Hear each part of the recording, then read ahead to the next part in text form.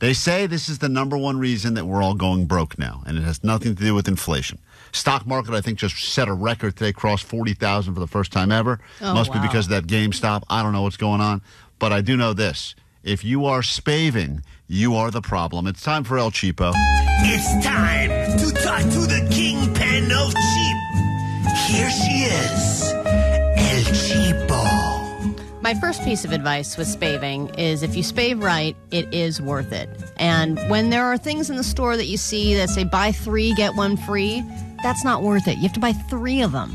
Now, BOGOs or buy one, get one 50% off, if you have planned out the use of that item, it is 100% worth it. But I say you do have to stay on top of it. You can't forget that you have the other one. You have to make sure that if it's perishable, you're going through it. You have meal planning to incorporate that ingredient. You got to plan ahead. But if you do it properly, I think it is a win win. If you are spaving or you have spaved, which is spending a lot to save, which kind of sounds like that trend of quote like hot girl math, girl math, as they say, like mm-hmm. oh.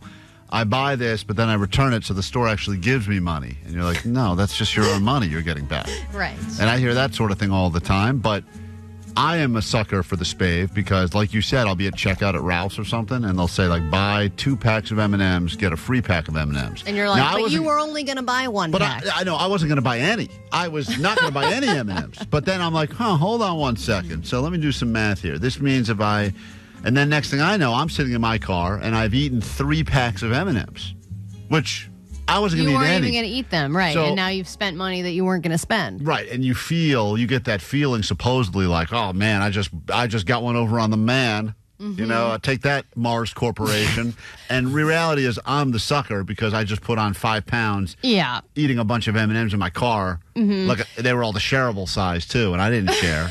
King size shareables. Well, the times that I've gone wrong are for a while. Katie and I were like, why don't we not buy a bottle of wine or two here and there throughout the week? Why don't we go to Vons and Oh, get yeah. that that you know that carrier 30% case? off. Yeah, because you get a lot of money off if you buy them all at once. The problem is once you get home, you've got all this wine, and you're like, "We've got wine. Open up a bottle," and then you're going through it twice as fast. And that's the reality is that they know whenever they do the buy more, save more, whatever, they know that we have no self restraint. And they also know that once we have it, that's the hardest thing for them to get us to do is make a purchase. But once we make the purchase, we're like thinking, you know, it's like all those, uh, you know, used for, uh, uh, you know, use for 200 days and then return it. Like other than people like Ally that bring back dead plants to Home Depot. Oh, I tried to return lotion yesterday. They wouldn't let me. But Real- but but really? here, well on Amazon, yeah. That's so sad. It wasn't the right blend. You're so sad. Anyway, when it has scotch. worked for me is when, is when uh, with clothing. So a lot of people will be like, "Oh, I have to pick up a shirt for th- something," or "I'm just browsing. I'm going to pick up things here and there." Don't do that. Wait just to do a, two or three shops per year.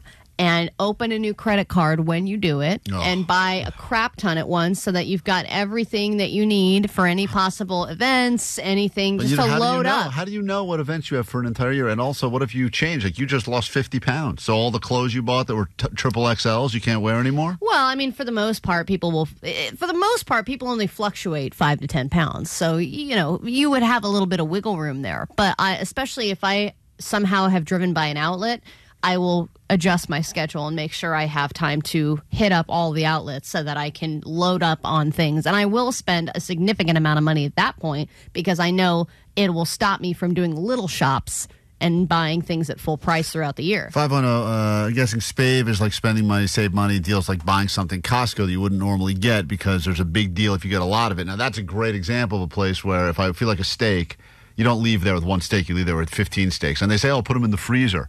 But Yeah, I. that's what I do at Costco. I'll Yeah. buy all my stuff. I'll just buy a ton of salmon, a ton of chicken, a ton of ground turkey, all the stuff that But we you got to, normally but. Omar said, like Omar's right. You got to stay on top of that because what ends up happening Yeah. you leave it in the freezer, you forget about it, and then in, a, in two years I don't forget about it. I know exactly what I have.